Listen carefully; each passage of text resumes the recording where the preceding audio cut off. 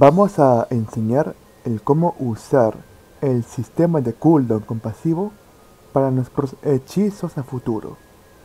Que bueno, esto es un sistema como dije hace poco y requiere importarse los datos. En este caso, habilidades, el dummy, esta cosa acá que son las variables y todo el tema. Y obviamente acá sí o sí activas tu general. Esto siempre activado para que los sistemas importados se den con efectividad. Bueno, obviamente es solamente copiar esto, copiar esto y copiar el ordenador y pegarlo en el mapita. Bueno, yo importé el sistema para que básicamente no sea un tan largo, así que vamos a solamente reconfigurar los tipos de variables, que acá lo ven acá que está todo vacío, acá desconocido, porque cuando uno importa sistemas, siempre los valores originales se pierden. Así que uno tiene que reasignarle otras variables para cada tipo de variable. En este caso, el dummy que hemos importado, la habilidad que se ha importado, que es esta cosa acá, este de acá que es otra habilidad.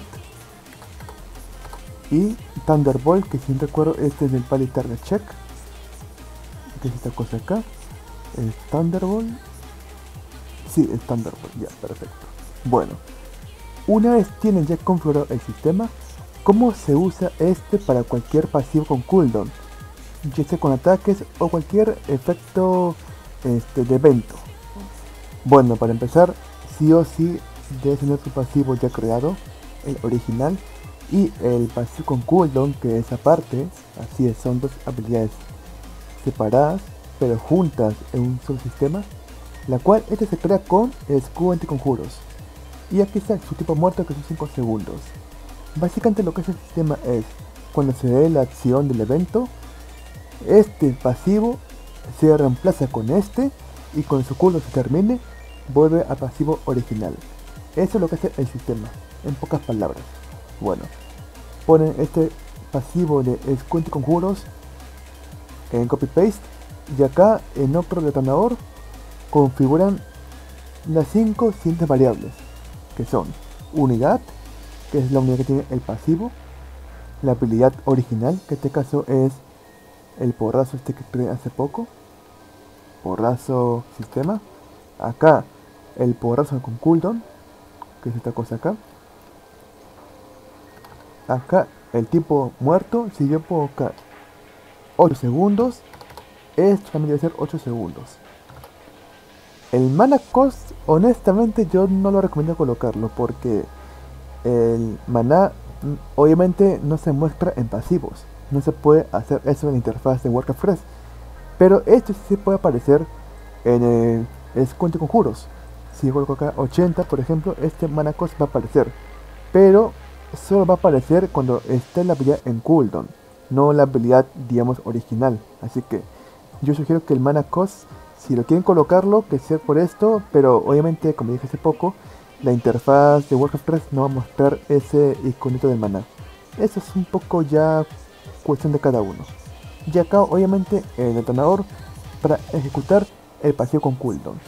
En este caso voy a hacerlo con un damage engine que básicamente si yo inflijo daño el sistema de porrazo va a entrar en cooldown hasta 8 segundos y todo el tema y con esto vincularíamos el porrazo con damage engine que básicamente es para que el porrazo entre en cooldown una vez el tauren que es el que tiene el pasivo ataque a un enemigo bueno este porrazo es solo un nivel ¿Y qué pasaría si yo quiero hacer un paseo con cooldown con nivel heroico o nivel de habilidad? Bueno, acá se crea el paseo con cooldown, que es igual a este, pero con niveles. Y acá tú le asignas el cooldown, que es 10, 8, 6. Y acá yo recomiendo que sean cooldowns coherentes, no por ejemplo este 10, 9 y luego acá 2 no tiene mucho sentido porque el orden en cuanto a la aritmética para la variable que será futuro es un poquito más pesado por llamarlo así que uno tiene que tener cooldowns un poco así con sentido con no tan así separar los números los valores en fin. Para eso acá una variable se coloca el nivel de la habilidad y básicamente es hacer lo siguiente que es colocar este tiempo aritmética 12 menos la variable que mostré hace poco que es el nivel del porazo de Muradin multiplicado por 2 por 3 lo que tú quieras. Y acá arriba está el cooldown original que se dará con la aritmética. 12 menos 2 10 de cooldown en nivel 1 12 menos 4 en nivel 2 igual 8 de cooldown 12 menos 6 nivel 3 igual 6 de cooldown y básicamente eso sería todo con niveles heroicos o de habilidad.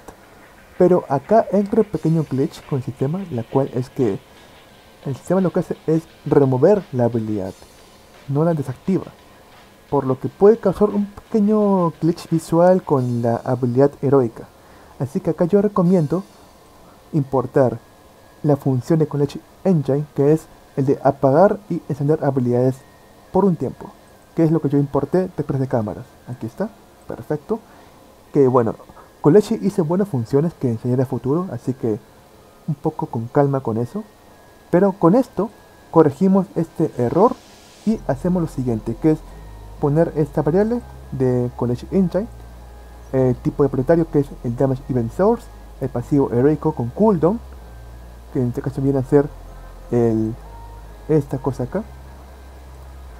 Y acá el tiempo acá esto se pone en falso porque estamos apagando la habilidad y listo. Corregimos el error el glitch visual de Warcraft 3 por culpa del sistema y ahora vamos a ver la habilidad en acción vamos a correr el mapita y a ver el paseo con cooldown de el Tauren y el poderoso de Muradin bueno, aquí estamos en la partida. A ver en acción nuestro paseo con cooldown con el porrazo del el Tauren. Voy a darle un golpe al peón y ¡pum! entró en cooldown. ¿Cómo es eso? Porque el Tauren ya no hace porrazo al 100%. Hasta que la habilidad vuelve a activarse quizá y ¡pum! Perfecto. Ahora, con la habilidad con cooldown con héroes. Acá tengo el que está con bug pongo eso nivel 2 y acá entro en cooldown y acá el porrazo vuelve a prenderse. Eso es lo que me refería con el pequeño glitch de remover y agregar habilidades con tipo de habilidad de héroe. La corrección es con la función de College Engine que es el de apagar y encender habilidades. Acá coloco este en nivel 2 otra vez.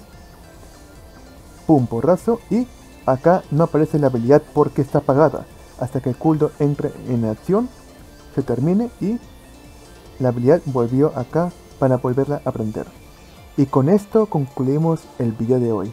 Así que gracias por ver y escuchar y hasta la próxima.